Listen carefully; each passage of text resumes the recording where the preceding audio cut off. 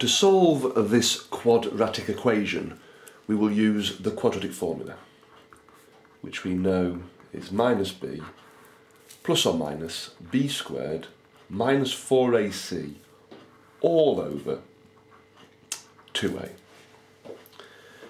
Now in our equation, a is the coefficient of x squared, so a is 6. b is the coefficient of x, and c is the constant.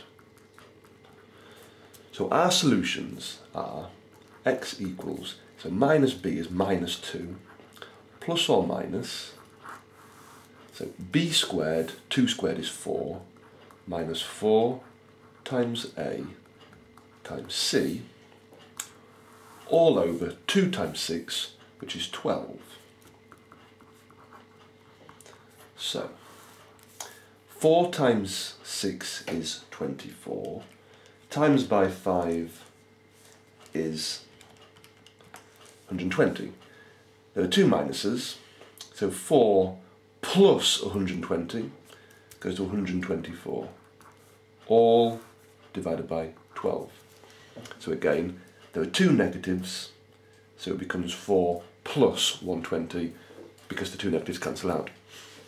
So to find x, we have to work out this here with a plus and a minus. So,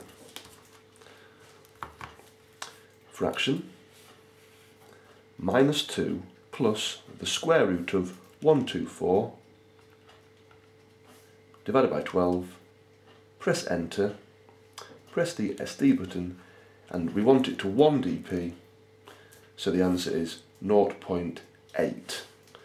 So x equals 0.8 is our first solution. For our second solution, we change the plus to a minus, press enter, and this solution is minus 1, 0.1 to 1 dp.